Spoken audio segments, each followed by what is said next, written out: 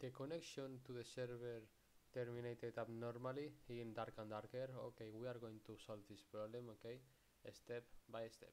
Okay the first step for the solve this problem is uh, you go to the steam okay? We're going to the steam. And here we are going to uh, here okay steam uh, icon and go to the settings.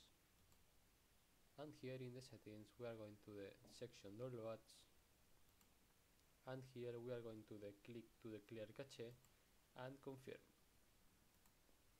The second step we are going to the library and go to the uh, dark and darker okay? You have here your game okay? And go to the manage and properties. And here in the properties you put this okay? In launch options okay? In the section general uh, okay? Dash dx11 okay and you go the installed files and verify integrity of game files and you verifying files of dark and darker okay? And you solve the problem. Bye bye